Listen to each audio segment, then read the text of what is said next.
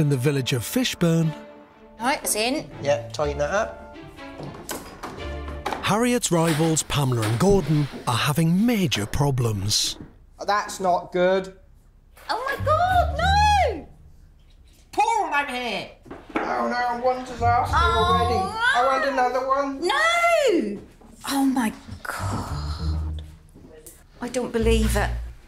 Been a bit like a sieve, isn't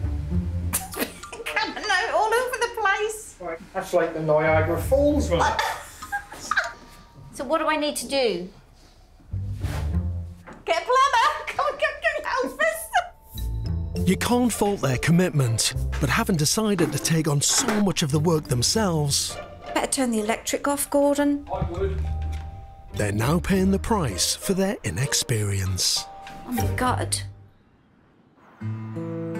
But it's not just plumbing problems they're juggling. Sugar. Still living in their caravan, they also have tough budget decisions to make. I need to know now about this kitchen. If we are going with a new kitchen, we've already gone over our small budget, what we had anyway, to start with. The annoying bit about it, we wouldn't went over budget if we'd have done our homework a little bit better.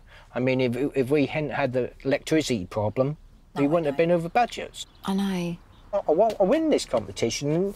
This way, we're going to end up with no profit whatsoever. Which I, I am working my socks off to, for nothing. This is why I need to know what we're doing. Second hand for four, five hundred quid, or new and spend over a thousand pounds. If we can save a thousand pounds, that's a profit. I know, and that could win the competition. that could. thousand pound could make a big difference at the end of the year. You're too right. Too right. So, There's nothing else to say. Second hand kitchen, and that's it. right. I think I'd rather go back lorry driving again Okay. Okay. to get all this hassle.